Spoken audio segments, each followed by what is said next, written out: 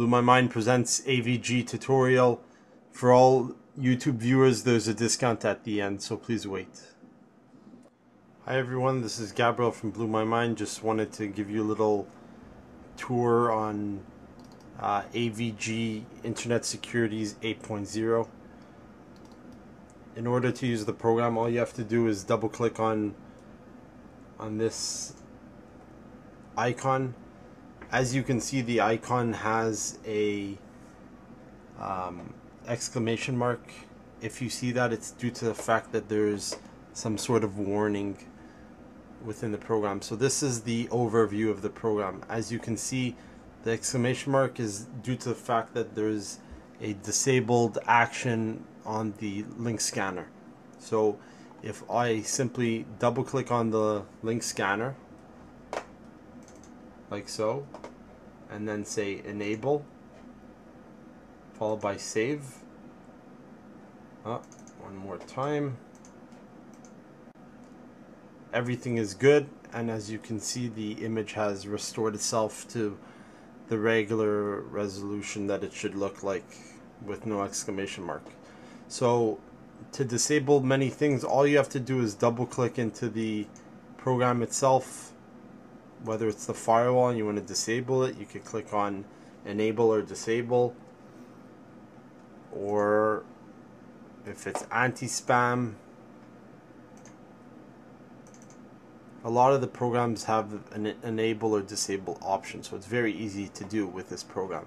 Furthermore, if ever you decide that you'd like to update the antivirus antivirus files, all you have to do is click on update now and then you will see that the program will go and download its newest updates off the AVG server.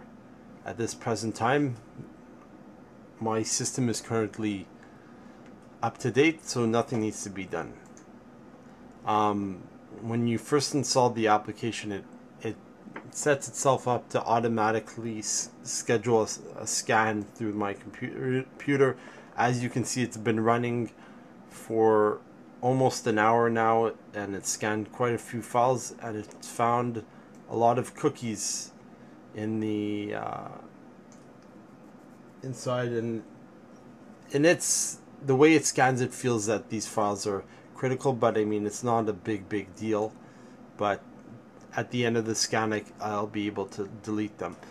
Also you can tune if you want the scan to go slower or faster, all depending on how much power you'd like to uh, exhaust. But uh, overall, AVG Internet Security version 8 is very, very good. Probably one of the easiest programs to to use, and also the thing that I love the most is it doesn't use too much memory. As you can see, AVG. The file is only 4 megs versus McAfee and other programs are much much hard, higher. So that's blew my mind for August 22nd. Thanks for your time and we hope to speak to you guys soon. As promised, all YouTube viewers will receive a 15% discount on all AVG software. Simply contact us at sales at blewmymind.com. Thanks a lot and have a great day.